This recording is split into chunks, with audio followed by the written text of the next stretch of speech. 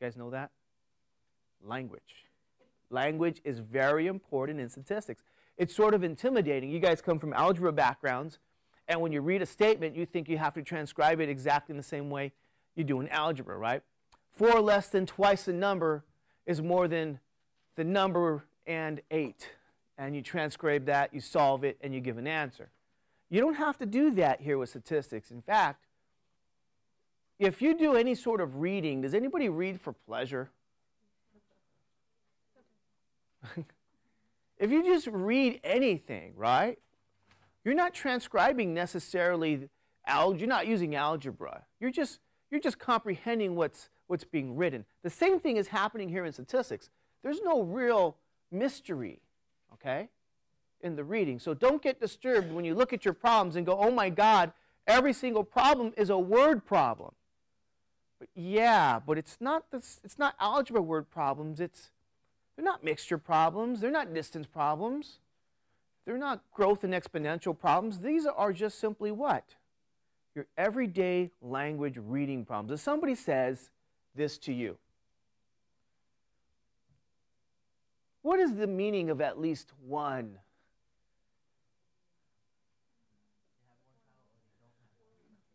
See? What was you have one or you don't have one? See, you're going to hear, you're going to hear a lot of different things, and that's good that we hear them because we want to we want to get that those those thoughts out of our head, right? We want to get what what it really means, and if you do it now, then you're going to be pretty good for the rest of the semester because this is a big part. For some people, this is simple. They go, "Oh my God, I can't believe he's even talking about it." I thought I was going to be in chapter five by now, and you're talking about at least one. Guess what else is on that multimedia presentation? The language of this stuff is even there. Nice.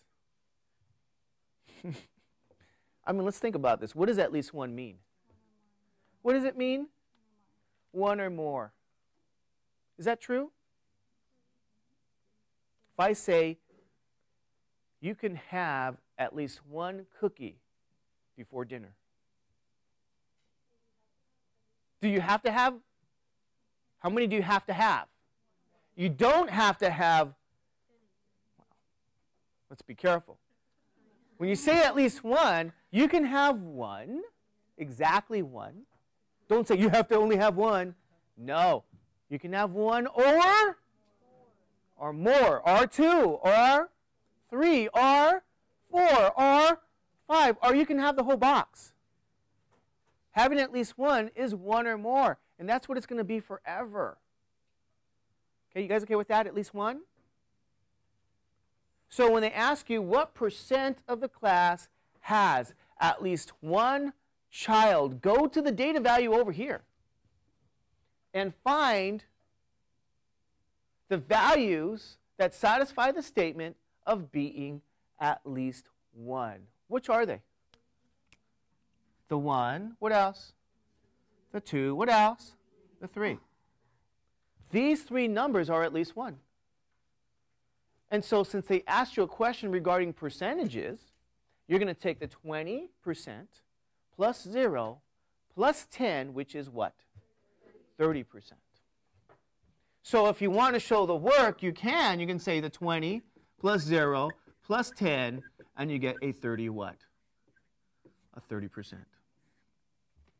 30% have at least one child, meaning one or more. Okay? You guys okay with this? What does at least two mean? If I say you can have at least two cookies before dinner, what does that mean? Can you have only one? You need to have what? Two at the least. Two or three or four or five, two or more. Two or more, is that right? So, what data values satisfy the statement of being at least two? The two and the what? Three. What percentages are there? Zero plus 10 is what? What is zero plus 10? So it's what? 10%? 0 plus 10 gives you that 10%. Anybody have any questions on that? Is it still easy? Is it easy? Are you sure? Now I don't hear confidence anymore. It's kind of, it's gone. It's like, it's like you notice that. At least two. Ladies and gentlemen, at least two means, I mean, I can I can do this to you as well. I can say, instead of having cookies, right? What if I told you I'm going to give you at least two dollars? when you talk about money, what happens? People know exactly what you're talking about. So if I said I'm going to give you at least $2, what am I saying? well, what can I give you? What if I gave you nothing? Oh, I'm a liar. I'm not giving you at least two. What if I gave you only $1? I'm a liar again. I, is, am I okay if I give you $2 exactly? Am I? What if I decided I'll give you three? Am I still okay? What if I said I'm going to give you five? What if I gave you a hundred dollars? Okay. Notice two or more satisfies the statement at least two. Okay. Look at the next statement.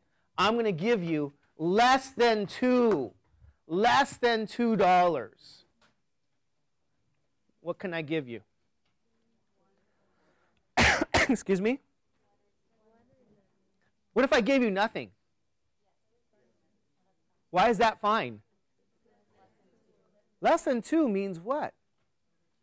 Smaller than 2. What data values are smaller than 2? The 0 and 1. So if I said I'm giving you less than $2, I can tell everybody here now this. Before you leave today, I'm giving you less than $2. And I'm not a what? Liar. Why? Because even if I gave you nothing, that's less than two. Try talking that way. You guys know who talk, you know, who, anybody know people who talk that way? no, I talk that way. If I say, Ashley, Ashley's my daughter. What does Ashley always want? She always wants to go shopping. God. You like going shopping? Good. So I say, Ashley, you're going to get less than two pairs of shoes. Okay? And you want to know what the irony is? She knows exactly what I'm talking about. She goes through the math and says, she goes the, she's eight. She knows what less than two is. And I use this all the time on her because, I mean, the moment you use this language on people, they really pay attention. less than two. She goes, Daddy, what if I don't find any shoes that I like? Well, that's okay. It's still less than two. And she goes, Hmm. So can I get one pair? Go, that's less than two. You can get one pair. Can I get two? Because she always likes to test it. She wants to test to see if I know what less than two means. What about two? Ashley, that's not what? Less than two. So when you talk about things in a way that people, it's personal to them and it has a lot of meaning, all of a